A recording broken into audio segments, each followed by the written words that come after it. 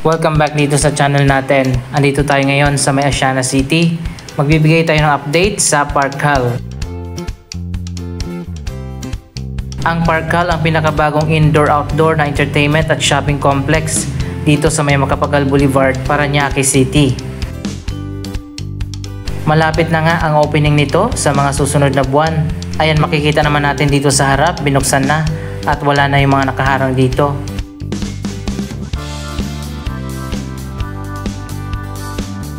Sa ngayon, open park muna itong right side ng Parkal. Pero doon sa kabilang side ay parking area.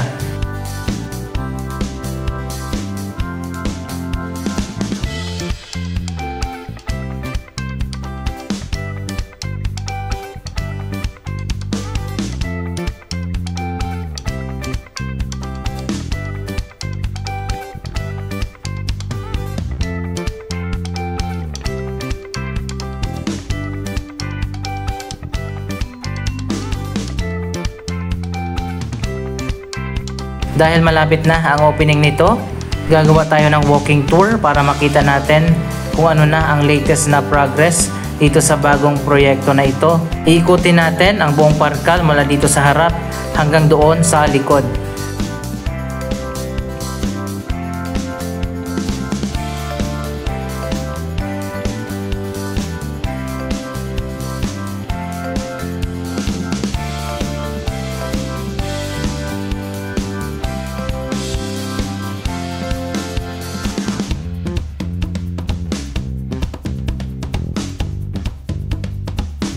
Kung hindi kayo familiar kung nasaan ang Parkal, itinayo ito sa may Makapagal Boulevard.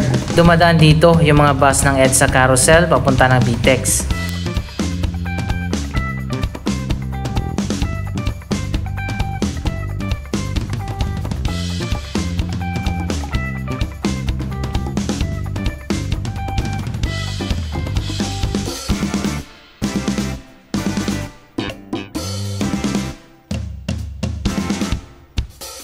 Sa gitna ng bawat building dito sa Parkal ay merong canopy. Yan ang proteksyon ng mga bibisita dito sa init at ulan. Kung mapapansin natin, kakaiba ang disenyo ng shopping complex na ito.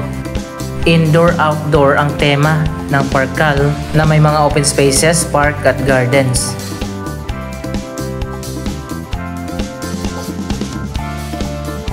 Puro glass naman ang makikita natin dito sa harap mula sa taas hanggang sa baba.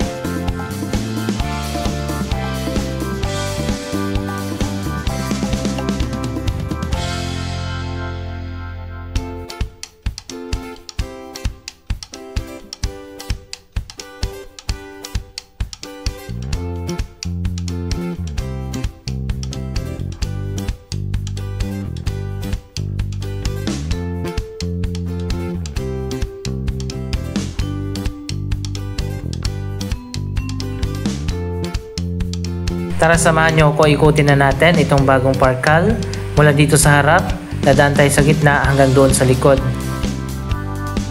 Dito pala yung sinasabi ko kanina na open parking area.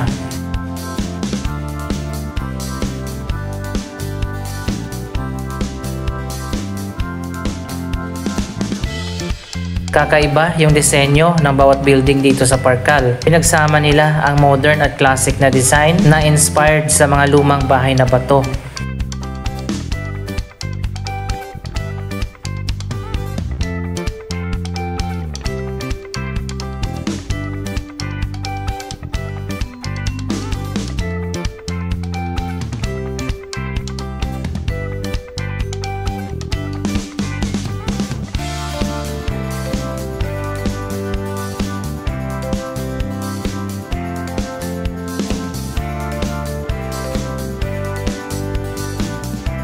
Kapag pumunta ka dito sa Parkal, ibang-iba yung experience. Hindi siya katulad sa mga typical na mall. Dito malalawak yung sidewalk at meron pa mga corridors at mga hallway papasok dyan sa loob.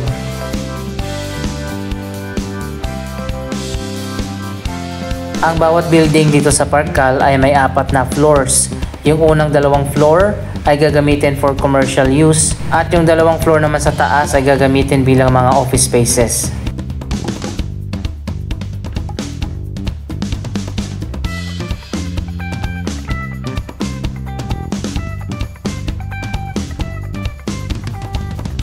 Tapos na yung construction ng building, ginagawa na lang ngayon yung mga stores, mga shops at mga restaurants na magbubukas dito.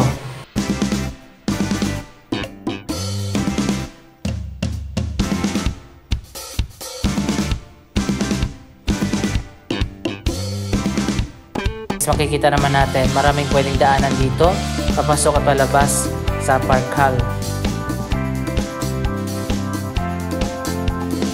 Sa gitna ng bawat building ay merong street na pwedeng daanan ng mga tao at mga sasakyan. Pero ang lahat ng mga buildings dito ay connected naman ng mga elevated na walkway mula doon sa harap hanggang sa likod.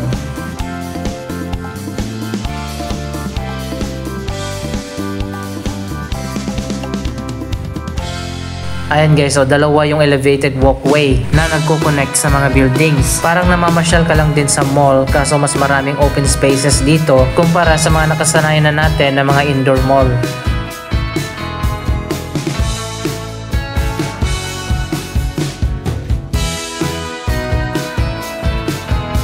Dito naman tayo dumaan sa kabilang side. Ayan, makikita nyo naman kung gaano kalawak yung sidewalk dito.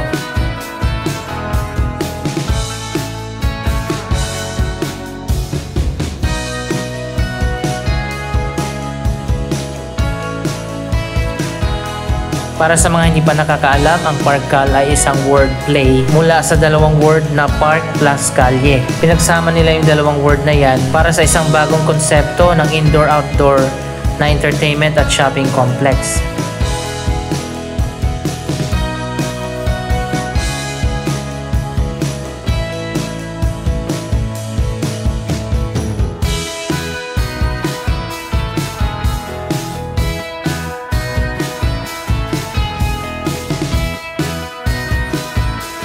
Dito naman sa bandang likod, meron pang open space na may hidden na water fountain. Hindi lang gumagana sa ngayon yung water feature, abangan natin sa opening.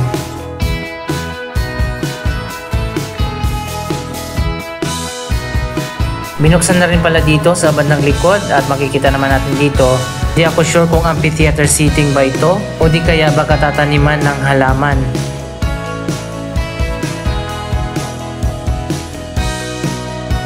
Ngayon ko lang napansin, iba't iba pala yung kulay ng bawat building.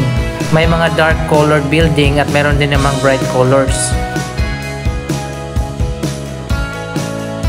Hindi pala ako sigurado kung amphitheater seating ba ito. Abangan na lang natin sa opening kung ano magiging purpose ng parang hagdan na itinayo dito.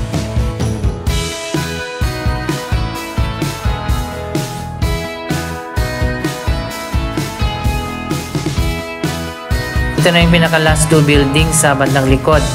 Malalawak talaga yung sidewalk dito. Ngayon pa lang nakikita ko na mukhang maraming pupunta dito at mamamasyal sa Parkal kapag nag-opening na.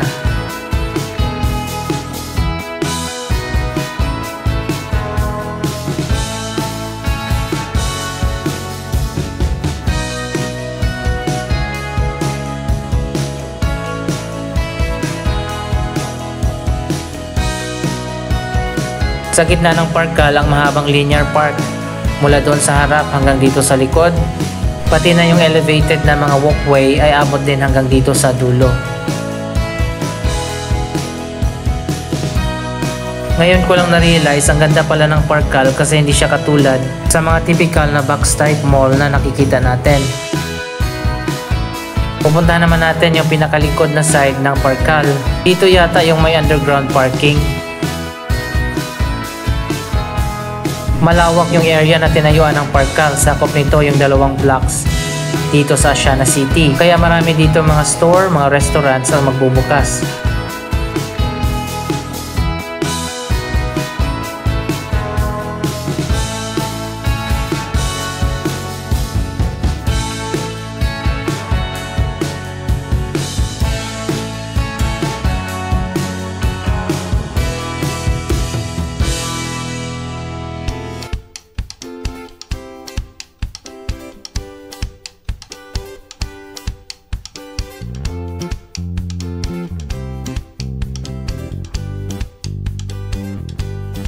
Andito na tayo sa bandang likod ng Parkal. Ito na yung Jokno Boulevard. Ito yung kalsada na nagmumula doon sa Mall of Asia.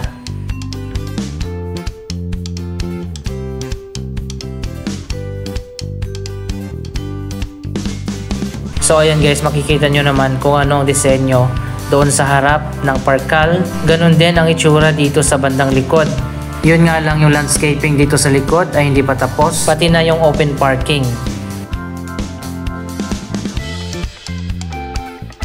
So guys, abangan natin sa mga susunod na buwan at malapit na nga ang opening ng bagong Parkal Mall. Anong masasabi nyo sa proyekto na ito? Mag-comment lamang dyan sa baba ng inyong mga reaksyon. Maraming salamat sa inyong panonood. Huwag kalimutang i-like, i-share, mag-comment at mag-subscribe. Thank you for watching.